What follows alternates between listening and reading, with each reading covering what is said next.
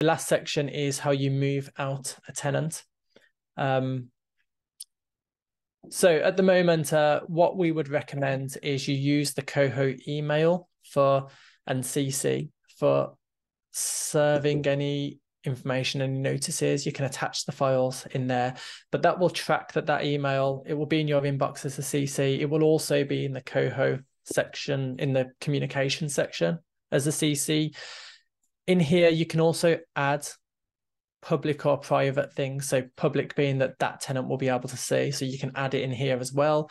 Private being that it's just for you and your team to see. So you can add it in there.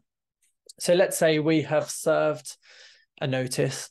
Uh, sorry, where can messages be viewed? So um, you'll have a message center at the top. We are actually looking to move this into the top corner. So anybody looking at this in future, look where the mouse is now. But right now, it's here. If you're in a property and you click message center, um, it will take you to the message center for that property. Um, it will be pre-filtered. So if we go in here, we can see here it's it's pre-filtered to that one, so we can see you can get rid of the filter and see it all. Um, if you've got the app downloaded, you'll get push notifications. Um, yeah, cool. So let's say that we are we've had enough of this tenant. She's not paying and we want to move her out. So the way that you do this, in fact, the other thing I'll show you is how to change the rent because I know that's something that people um, are often wondering about. So the way you do this is you go up to here, the tenancy summary, and you click. I'm just thinking whether I should show change rent now.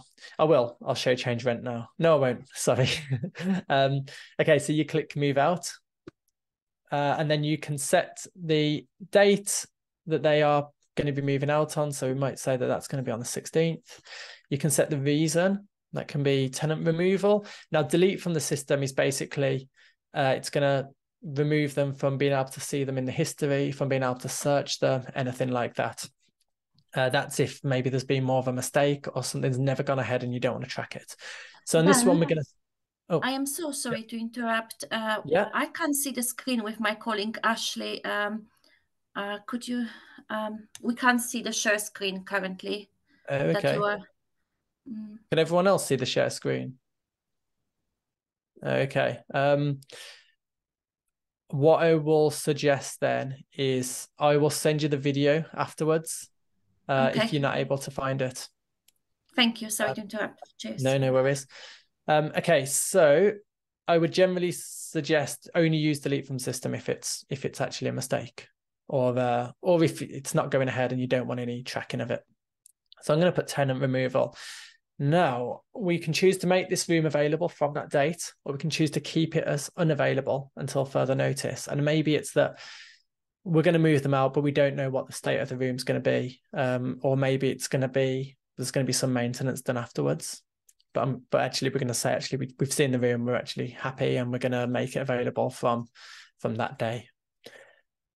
Uh, what we can do now is we can cancel any future unpaid rent. So if we go into here, we can see that actually this tenant's meant to be with us until July, but we're moving them out early. We're going to cancel all of that.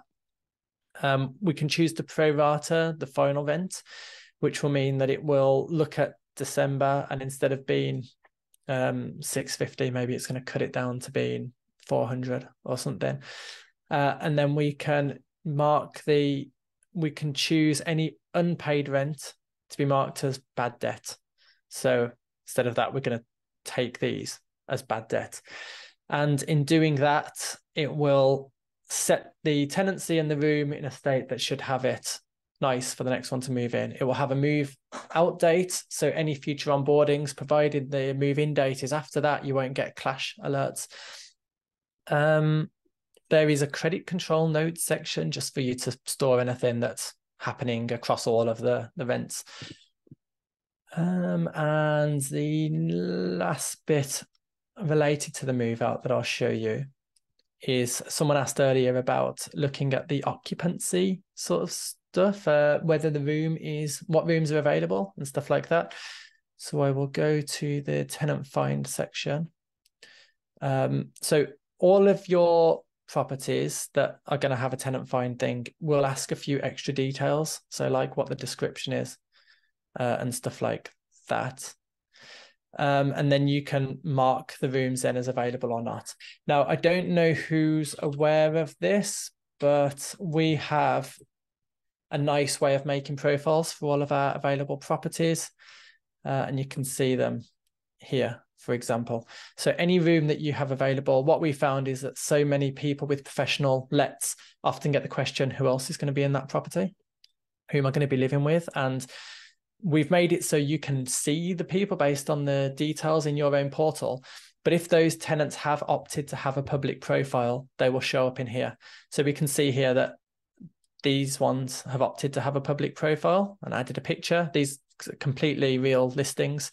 This one's got a, a, a basic profile that just says name, age, and gender. And these have chosen uh, not to share. Um, so these can be quite nice to share directly with a prospective tenant to really make them excited about moving in. We do things like uh, you can add video tours through um, Matterport or Made Snappy or this Tourgether. You can add floor plans and you can add other videos. Um, okay, so I think that mostly covers it. I think there's one other thing actually that's worth showing that some people may not be aware of. You can add a second person to the coho in a room, and that is just once you're in the tenancy, you can add an additional tenant. Uh, you can also connect any tenant that you're already aware of if they're a sort of you've had them before.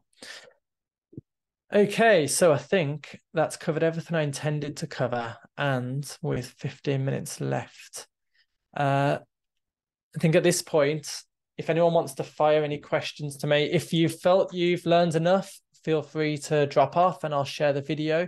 If I have not given enough information about any section, um, if you want, you can come off mute and ask, or you can chuck it in the in the question section uh, in the chat, and I will answer anything.